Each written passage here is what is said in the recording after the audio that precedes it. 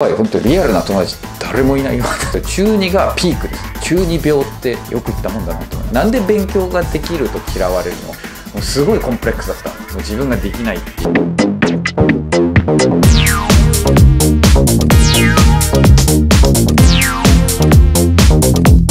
フォローで始まりました。マチェスチャンネルです。今回はですねまあ私の悲しい学生時代についてちょっと話していこうかなと思いますね。勉強そして英語に出会ってなかったら私は一体どうなっていったんでしょうっていうね。ちょっと人生をちょっと振り返りたいかなと思いますね。まずね幼稚園時代っていうのはものすごいちっちゃい幼稚園で年長年中年少でしたっけ。そういうので本当に数人しかいないわけですよ。自分の次の年が最後だったかなもうそれで亡くなっちゃったとこだったんですけど勉強とか一切しないとこだったんで小学校に入って幼稚園っていろんなことを学ぶとこなんだなっていうのをびっくりするんですよ。小学校もすごく小さい小学校で2クラスしかないちっちゃい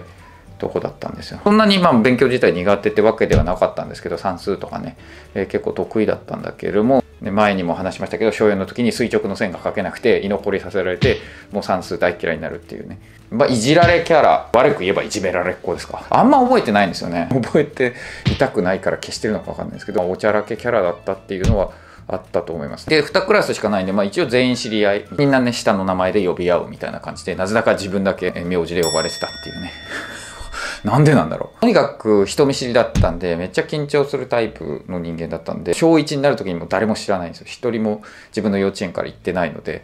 もう嫌で嫌でしょうがなくて。で、中1になる時も分かれるんですね。うちの小学校3つに分かれるので、中学ね。なんで自分の入った中学、いきなりなんか6クラスとかになるんだよね。で、6クラスになって、知り合いが1人もいないっていう状況になるんですよ。で、また人見知りなんで、辛い。ってわけですよ。だもう頭が痛くて、そうそう、この頃があの保健室登校してた時期ですね。緊張痛がすごくて。この時に出会った友達の影響っていうのがすごく大きくて、これがなかったら自分の人生変わってただろうなって思うんですよね。テストの勝負をしたんで、でそこで1回だけ僕勝って、で、その後ずっと負けるんですよ。その友達がすごい勉強してて。でそれがなかったら、なんかテストの勉強するとかってやってなかったと思うので、本当にね、それは感謝してるんですよ。で、中2になるんですけど、中2がピークです。中2病ってよく言ったもんだなと思いますけど、一番仲良かった友達と同じクラスになるんですよ。てかまあそういう風に仕組まれてて、1年の時に仲良かった人がみんな2年の時に同じクラスになるように仕組まれてた学校だったんで、テストのね、対決っていうのは継続されていくわけです。その友達の小学校時代の友達とかが結構いっぱいいるんで、すごいなんか面白い人だったんで、自分で言うのもなんですけど、そういうキャラだったんで、その時がピークです。いわゆるあるじゃないですか。スクールカーストとかさ、クラスの中のカーストみたいなので、陽キャ的なグループにいたのが、唯一、この期間。で、同じクラスメートになったやつが、あ、知ってるって言ったんですよ、このことをね。自分が小学校の時に、絵を習ってたんですよ。クラスメートの弟が習ってたんですね。同じ絵を習ってて。で、そこで時々なんか美術館とかに絵をね、見に行く機会があって、その時にいたんだって言ってたんですよ。で、そいつが僕のことを森鉄って呼んだんですね。その中2の時のクラスメートがつけたあだ名がその森鉄です。それまでね、ずっと名字でしか呼ばれたことなかったのに、初めてできたあだ名だったんですね。まさか今でもずっと使ってるとは予想もしてなかったですけどね。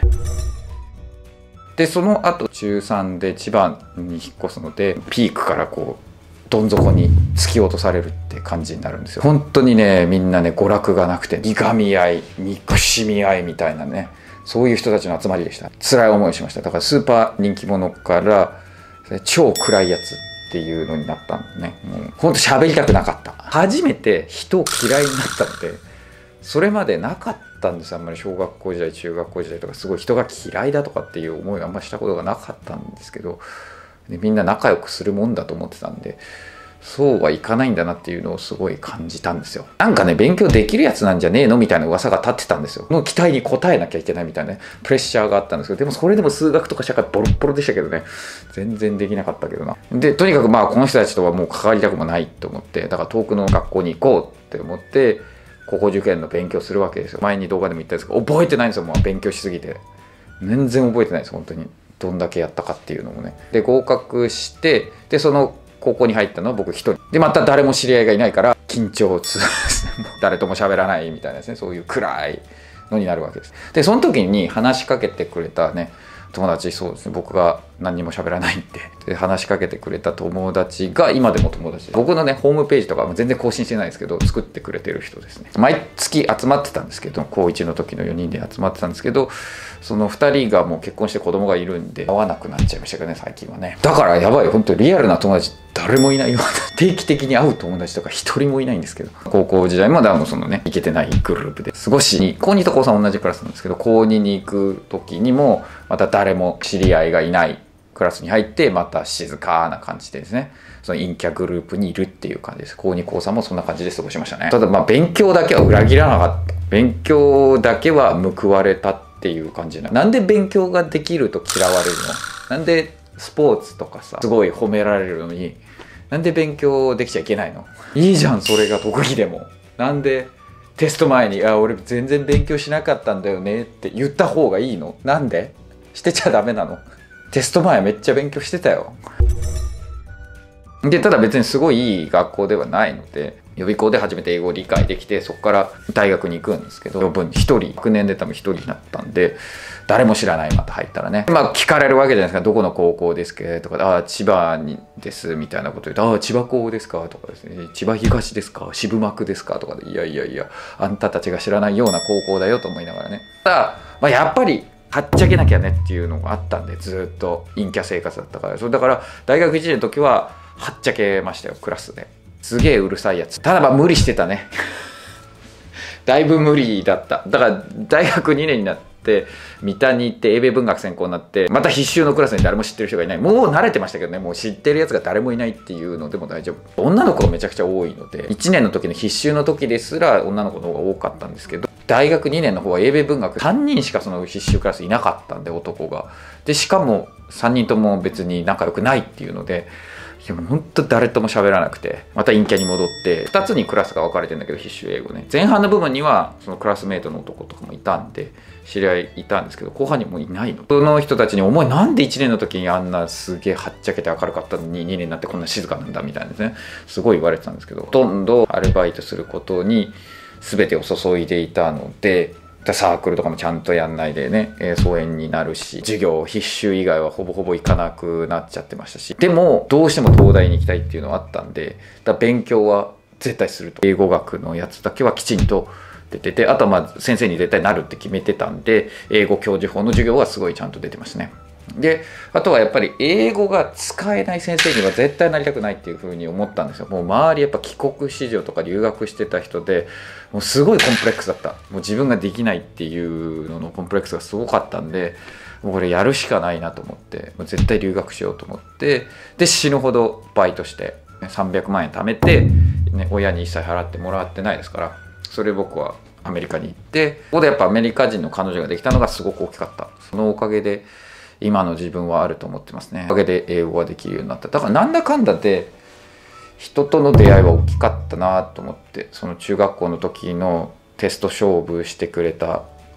人とか。で高校の時もそのね仲間と一緒にテストの点で勝負してたんですよ。これもなかったらほとんど高校時代勉強しなかったんじゃないかなって思いますね。だからその中学校時代高校時代でテストの勉強したっていうのでその出会いのおかげで勉強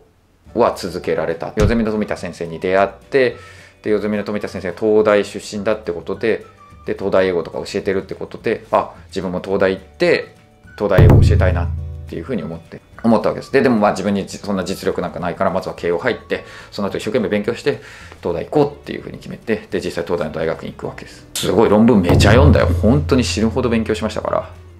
フランス語も勉強したし言語学もやんなきゃいけないんで言語学もすごい勉強してで合格しましたね。でそれ当然入ったらまた一人ですよ。誰も誰も知ってる人なんかいない。でまあもうもう慣れてましたから本当に一人にね。もうだあ本当に孤独な人生だなと思いながらねやりました。で東大入れたって言ってで東大英語もね今教えてるわけですからね。夢は叶えることができた。っていう感じです。孤独の人生なんだけどなんだかんだで人の出会いによって助けられたかなっていうのはありますよね。その中学校の時の友達がいなければテスト勉強してなかったし高校の時の友達もなぜだかそのテストの点数で勝負するっていうのをやってたんでそのおかげで勉強は続けられたしで予備校で、ね、富田先生に出会えたおかげで東大行こうってなれたんで大学時代に周りに帰国子女とかがいたおかげでああ英語喋れるようになんなきゃって言って留学したし留学先で、ね、アメリカ人の彼女と付き合ったっていうのが、まあ、今の英語力はそのおかげだと思うんで孤独だけど出会いによって助けられてるなっていう人生だったと思います。ご視聴ありがとうございました。Thank you for watching.